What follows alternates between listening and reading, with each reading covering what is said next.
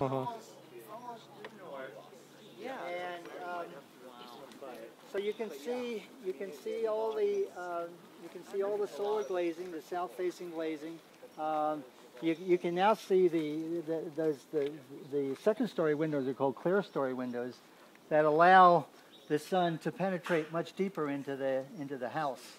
Uh, so it so it heats the slab you know much further into the house. And you see the you see the fixed overhangs um, that shade the uh, on. so it's an interesting interesting design design uh, decision as to how to how to how to size those overhangs. So if it couldn't have come out further. well, I mean, you can make them. You can make them come out as, as far as you want, but you know, so it's it's a yeah, it's a trade. Well, it's a trade-off between the aesthetics and and shade, and so again, the rule of thumb was to size them so that the the whole window, the south-facing window, is fully shaded at solar noon on June the 21st, the summer solstice. You know, when the sun is the is the highest in the sky. Well, you know, I was thinking June is not the hottest month here. Actually, July is the hottest month, and so I size these to, to fully shade the the window at solar noon on July the 21st.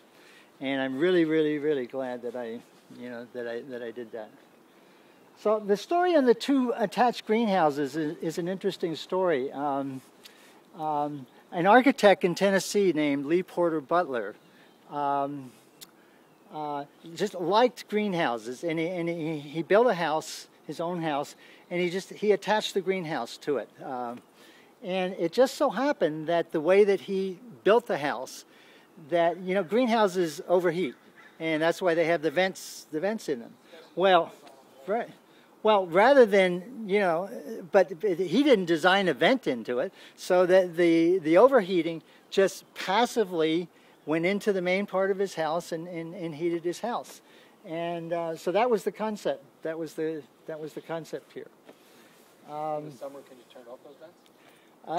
uh, there's there's no well, well now, if you look my, my, my I actually don't have vents. I, I, I have sliding uh, sliding glass doors on the on the inside of the house and that's how I can open and, and close them. So um, that's basically um, so you can see that you can see the fixed louvers. It's a five-sided house and and uh, so the, the, the cupola there actually re, actually reflects the floor plan of the of the house. So there's there's louvers on two sides on the on the back side. an innovative roofing uh, product? yes, uh, that is that is an interim roofing project project uh, product uh, until uh, that's a 30 year roof and uh, it's obviously not a cool roof and uh, that's one of the reasons why I haven't put uh, uh, you can't you can't see uh, but well you can see this plumbing stub stub out here. I've, I've, I've pre-plumbed it for solar hot water, and uh, but I haven't put it up for two reasons. One, these these tall eucalyptus trees here. Uh, well, they, they actually belong to the neighbor. There, there, there were three more trees that, that I found were on my property that I've, I've taken down. And they've been, they've been a, a continual source of, of controversy between the neighbor and I. But uh, I'm, I'm slowly, slowly uh, making, making amends, and I'm, I'm hoping that I can uh, someday convince her to, to let me take them down. So that's another. Right, right.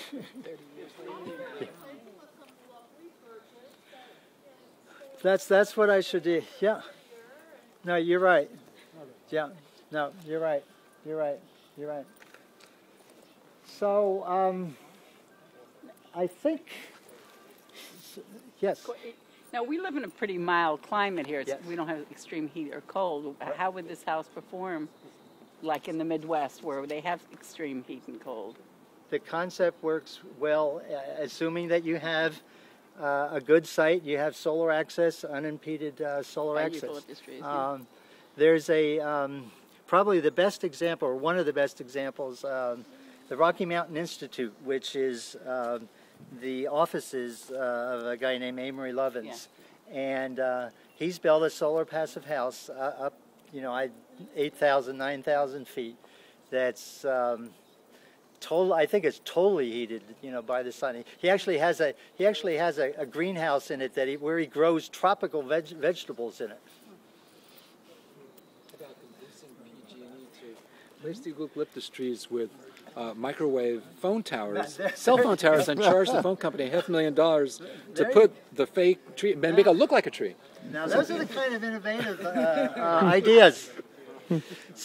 So one of the things that I would that I'd like to come out of this meeting, um, I don't know whether you have a formal way of of of, of interacting uh, and, and, and, and getting feedback with you know innovative ideas, but. Um, uh, I would love to. I'd, I'd love to talk with anybody, either either now or you know.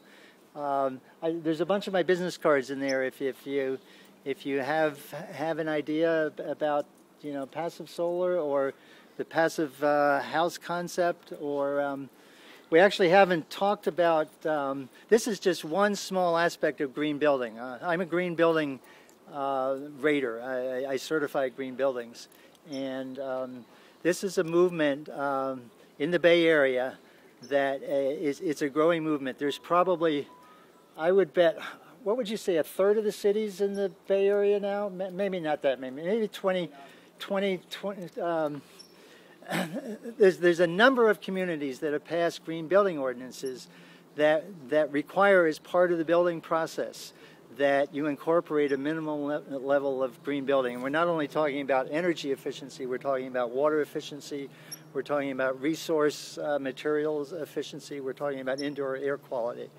And um, so uh, um, there's actually a new, uh, this year, there's a new state uh, Cal Green building code that is also requiring a minimal level. And um, so it's, it's, it's, it's a, it's a, uh, it's a growing trend.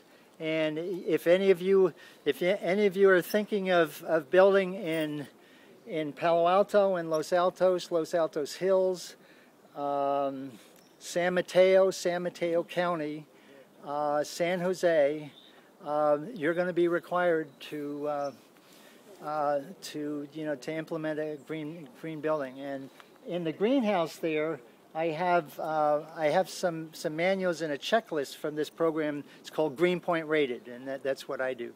So if you're interested in seeing the, there's probably about 120 different uh, green building measures that. Uh, you, you can basically pick and choose, but you have to come up with a certain number of points, uh, you know, to meet that. So would you say a regional metamorphosis is going on? I would say that, yes. yes, I would. Good. Yeah. It started in the North Bay and uh, it moved to the to the South Bay and then San Francisco and it's it's slowly the, the group that I work for actually is in Berkeley, but um, I don't think Georgia, are there any are there any East Bay uh, municipalities that Yeah, require Oak- Oakland just instituted as, as of the start of the year, um, Greenpoint for LEED requirements. What about Santa Cruz? Santa Cruz has their own has their own version. They decided, yeah, they decided that they they didn't want to take advantage of all this work that, but they do have a comparable green building. Berkeley doesn't have, Right, right. you know, go figure. But some of the people here are part of this innov- uh, regional metamorphosis initiative. So uh, some of the people who are here right now are sort of looking at this.